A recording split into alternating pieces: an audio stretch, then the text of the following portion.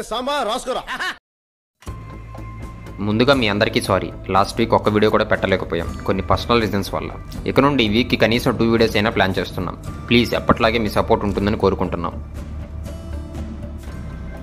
Two thousand twenty year. ప్రపంచంలో అన్ని దేశాలను కుదిపేస్తుంది. ఒక పక్క అందరం కోవిడ్ పాండమిక్తో ఫైట్ చేస్తుంటే మరో పక్క ఎంతో బాధ కలిగించే సంఘటనలు రోజు రోజుకి చోటు చేసుకుంటున్నాయి.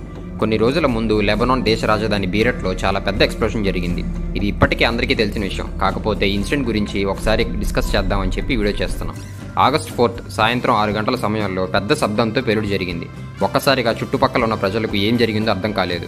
అందరి ఇళ్ళ అద్దాలు ముక్కలయ్యాయి. మరికొన్ని భవనాలు కూలిపోయాయి. ఈ పేలుడులో సుమారు వంద మందికి పైగా చనిపోయారు.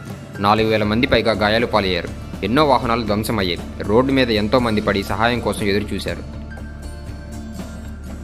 అసలు ఈ పేరుడికి కారణం ఏంటి? కెమికల్ అమోనియం నైట్రేటే ఈ పేరుడికి కారణం. ఇది ప్రపంచవ్యాప్తంగా ఎక్కువగా యూజ్ చేసే పారిశ్రామిక రసాయనం. ముఖ్యంగా దీన్ని ఎరువుల తయారీలో అండ్ పేలుడు పదార్థాల తయారీలో ఉపయోగిస్తుంటారు. కానీ ఈ అమోనియం నైట్రేట్ ఎక్కువగా స్టోర్ చేసినప్పుడు కెమికల్ రియాక్షన్స్ వల్ల ఇలా విధ్వంసాలు జరిగే ప్రమాదం ఉంది. ఇండియాలో జరిగిన టెర్రరిస్ట్ బాంబ్ అటాక్స్లో ఎక్కువగా యూజ్ చేసింది అమోనియం నైట్రేట్ ఫ్యూయలే.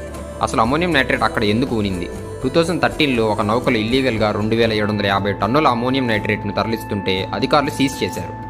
బీరట్ ఎయిర్పోర్ట్లోనే నిల్వ ఉంచారు. సరైన ప్రికాషన్స్ ఫాలో అవ్వనందున ఈ విధ్వంసం జరిగిందని అంటున్నారు. ఇటువంటి కెమికల్ ఎక్స్ప్లోషన్స్ గతంలో కూడా చాలా జరిగాయి.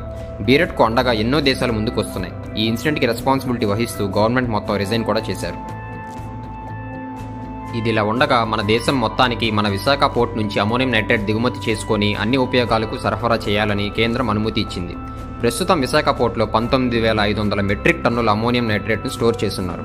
ఇదే ఇప్పుడు అందరినీ కలవరపెడుతుంది. ముఖ్యంగా ఎల్జీ పాలిమర్స్ ఘటన తర్వాత విశాఖ ప్రజలు భయపడిపోతున్నారు. విజయవాడలో కొండపల్లిలో కూడా చాలా వరకు అమోనియం నైట్రేట్ స్టోర్ చేసినట్టు చెప్తున్నారు. స్టాట్స్ చూస్తే విశాఖలో బీరెట్లో నిల్వ ఉంచిన దానికన్నా పది రెట్లు ఎక్కువగా ఉంది. అమోనియం నైట్రేట్ ప్రస్తుతం స్టోర్ చేసిన గోడౌన్స్ కూడా ఈస్టర్న్ నేవల్ కమాండ్ మరియు హెచ్పిసిఎల్ ఆయిల్ రిఫైనరీస్కి చాలా దగ్గరలోనే ఉన్నాయి. ఇంతే కాకుండా వీటికి దగ్గరలోనే ఫెర్టిలైజర్ ఫ్యాక్టరీకి అవసరమైన అమోనియా మరియు ఫాస్ఫరిక్ యాసిడ్ పైప్ లైన్స్ కూడా ఉన్నాయి. బీరెట్లో జరిగిన ఎక్స్ప్లోజన్ మన వైజాగ్లో జరిగితే వచ్చే నష్టం ఊహించడానికే భయంగా ఉంది. ముందు జాగ్రత్తగా బీరట్ ఎక్స్ప్లోజన్ తర్వాత విశాఖపట్నం కలెక్టర్ ఆదేశాల మేరకు స్పెషల్ ఇన్స్పెక్షన్ టీం విశాఖలో ఉన్న అన్ని గోడౌన్స్ని ఫ్రైడే విజిట్ చేసి మనకు ఎటువంటి ప్రమాదం లేదని సర్టిఫై చేశాయి. సో గాయస్ ఈ వీడియో కనుక మీకు నచ్చింటే ప్లీజ్ లైక్ చేయండి షేర్ చేయండి అని మర్చిపోకుండా సబ్స్క్రైబ్ చేసుకోండి. అండ్ పక్కనే ఉన్న గంటను కూడా కొట్టండి.